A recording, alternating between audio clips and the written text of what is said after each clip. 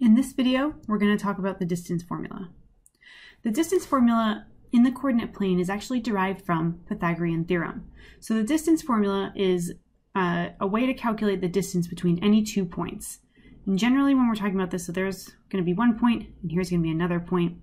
When we're talking about the distance formula, we label our two points and we call the first one x sub 1, y sub 1, as in these are the coordinates of the first ordered pair and we call this one x sub 2, y sub 2. And we get the distance formula, so if we connect those, that's what we're looking for, is the length of that.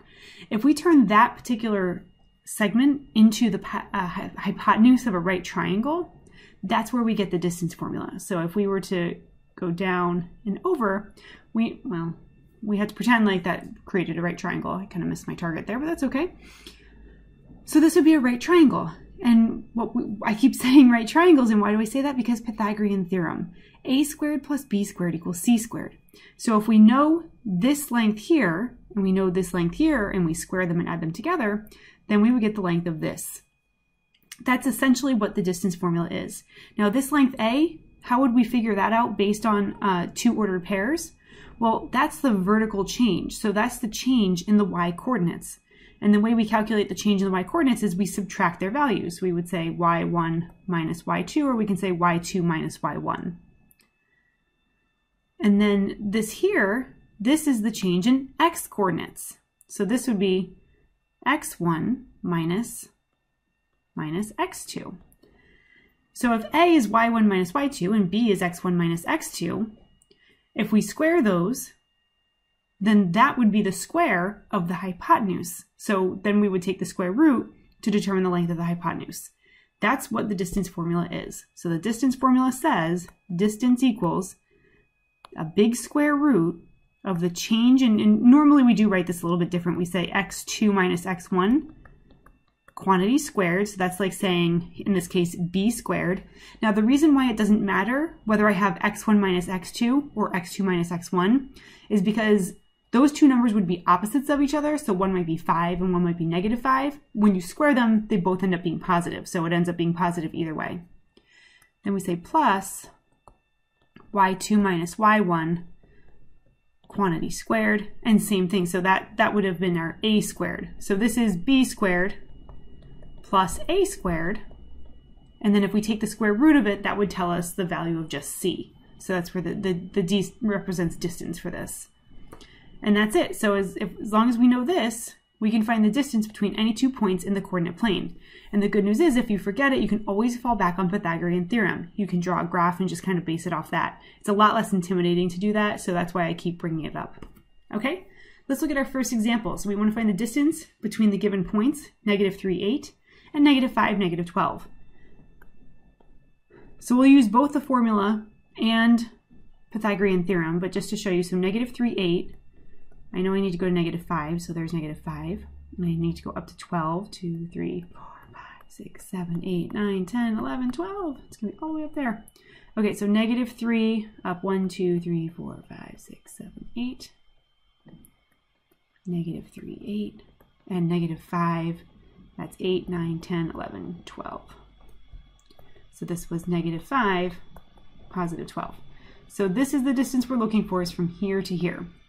So if we create our right triangle, this distance here would be the difference between 12 and 8. So this would have a length of 4. And the distance from here to here would be from negative 5 to negative 3. That's a distance of 2, right? If you look down here, it would be a jump of 2. So that means that this value here, our missing side, our distance actually, so I'll call it d instead of c, would be 4 squared plus 2 squared would be d squared. 4 squared is 16, 2 squared is 4, 16 plus 4 is 20. So 20 is d squared, and then to get d by itself, we would take the square root. Because we are talking about the side length, or we're talking about distance, distance is non-negative, side length is non-negative. So even though there are technically two cases where this should be a positive or negative, we disregard the negative because it, it's impossible with the circumstances that we're given. So now we want to simplify the square root of 20. 20 has a perfect square factor of 4, so we can rewrite this as the square root of 4 times the square root of 5. The square root of 4 is 2, so we would have 2 radical 5. So that would be our distance between negative 3, 8 and negative 5, 12. Using the distance formula, if you don't know it off the top of your head, then I suggest writing it down as much as you can. The x2 minus x1 squared plus y2 minus y1 squared. And what you would do is you would label your points. So maybe I call this ordered pair x1, y1, and this ordered pair x2, y2. That just helps me to plug in. So then I get the square root of, that's negative 3 minus negative 5 quantity squared. Be really careful with that double negative. It's minus, and then the coordinate itself was also negative. y2 is 8 minus y1 is 12 quantity squared. So we end up with negative 3 minus negative 5, that's negative 3 plus 5, that's 2 squared, plus 8 minus 12 is 4, or negative 4, excuse me, that would be negative 4 squared. So we do see a difference here because here we had negative 4, but in the original drawing I had positive 4, but luckily either way when we square 4 or negative 4 that they have the same square. So we get d equals the square root of 4 plus 16, and that would be the square root of 20.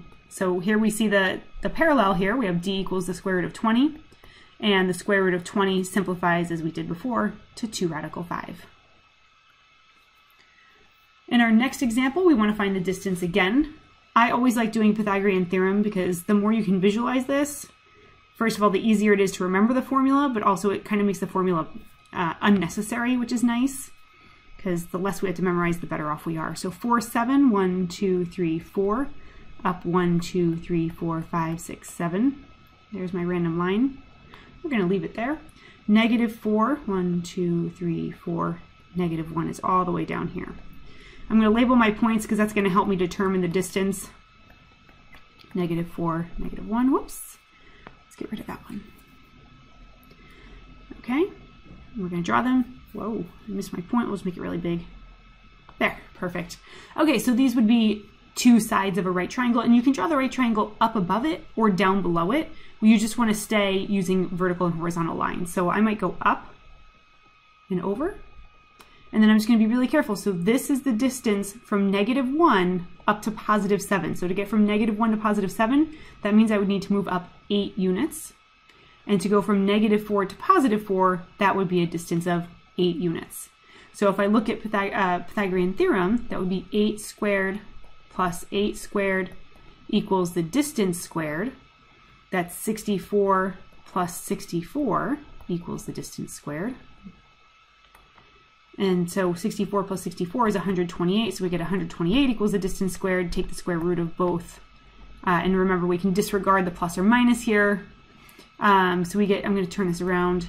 d equals 128 is divisible by 64, which is the largest perfect square factor. So I'm going to rewrite it as 64 times 2. Uh, the square root of 64 is 8, so we would end up with 8 radical 2. Using the distance formula, distance equals the square root of x2 minus x1 quantity squared plus y2 minus y1 quantity squared. So we get the distance equals the square root of, let's see, we'll call this one up here x1, y1, and this one down here x2, y2. So this would be negative 4 minus 4 quantity squared plus negative 1 minus 7 quantity squared. And so we would have, yikes, D's a little weird. We would have a distance of negative 4 minus 4 is negative 8, so that's negative 8 squared. Plus negative 1 minus 7 is negative 8 squared. Negative 8 quantity squared is 64 and negative 8 quantity squared is 64. So here again we end up with that square root of 128, which we know simplifies down to 8 radical 2. All right, and another example of finding distance. This time we're just going to use the distance formula. So the distance formula says x2 minus x1 quantity squared plus y2 minus y1 quantity squared will tell us the distance between the two points. We'll label our two points. This one will be x1, y1, and this one will be x2, y2. So now when we plug in, we get d is equal to x2 is negative 4 minus x1 is negative 2, quantity squared, plus y2 is 8 minus negative 4, quantity squared, being really careful about those negatives coming after subtraction. Negative 4 minus negative 2, so minus negative becomes plus positive, and negative 4 plus 2 is negative 2. So that's negative 2 squared plus 8 minus negative 4, that would be like 8 plus 4, and that would be 12 squared. And again, you can always double check by looking at the coordinates. So the distance between negative 2 and negative 4 is 2, and the distance from negative 4 to 8 is 12. So I feel pretty good about these numbers. Negative 2 squared is 4. 12 squared is 144. So we want to take the square root of 148. 148 is not a perfect square. We want to identify the largest perfect square factor. This one I sadly don't know off the top of my head, so I'm going to factor out a 4 first. Since I know 4 goes into it, it would be 4 times, and then 4 goes into 14 three times, and that would be 2. 28 would be 37. Oh, I think 4 was the largest perfect square factor because it's 4 times 37, and 37 is prime. The square root of 4 is 2, so the distance between these two points is 7 radical 37. If you're doing a problem and it asks for the exact distance, 2 radical 37 is the exact distance. If you plug this number in your calculator and you get some decimal that's just slightly bigger than 12, that's an approximation. So anytime it asks for the exact, it's looking for the radical. Okay, in our last example, we're going to determine if the given points form the vertices of a right triangle. So we have these three uh, points, and we can graph them. So 3, negative 1, 1, whoops, move that over a little bit. Just get rid of the whole thing, sad day.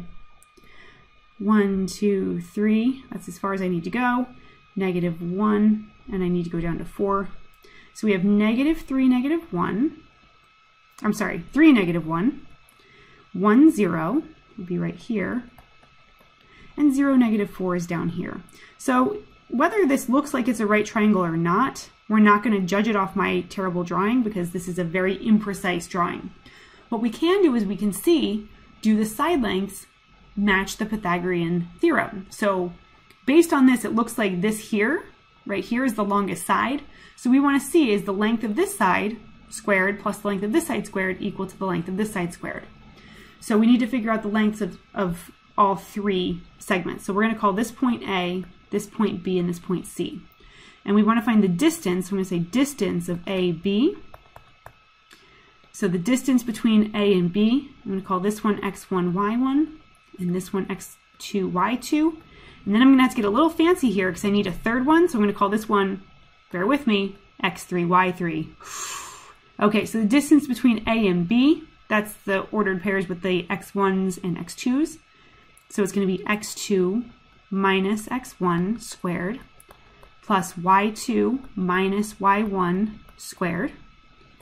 1 minus 3 is negative 2, so that's negative 2 squared, plus this would make positive 1, so that would be 1 squared. So that gives us the square root of 4 plus 1, which is the square root of 5. Okay, so we know from A to B right here that this is the square root of 5. Next, we're going to look at the distance between B and C. So in this case, my formula is going to change a little bit because now I'm using x2 and x3. So it's going to be x3, 0 minus x2 squared plus y3, negative 4, minus 0 at y2 squared. And let's see what we end up with here. Here we get negative 1 squared plus negative 4 squared.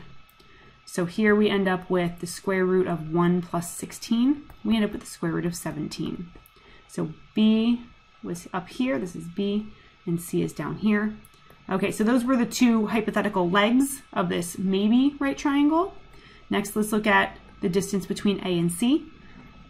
so this is going to be x3 and y3 and x1 and y1.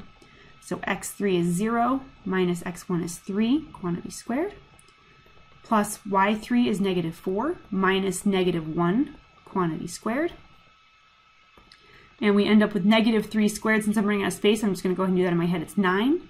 Here, negative 4 plus positive 1 is negative 3, and negative 3 squared is 9. So we end up with the square root of 18, and the square root of 18 simplifies because 9 is a perfect square, so it'd be 3 radical 2. So now we want to see if we add up the two shorter sides, and I did confirm here because root 5 is smaller than root 17, which is smaller than root 18. So if this was a right triangle, this would be the hypotenuse. We're going to check it. Does a squared plus b squared equal c squared? Big question mark there. So the first one, does root 5 squared plus root 17 squared equal root 18 squared? Well, the square root of 5 squared is 5, and the square root of 17 squared is 17. Does that equal 18? No, it doesn't. So the answer is no. They do not form the vertices of a right triangle.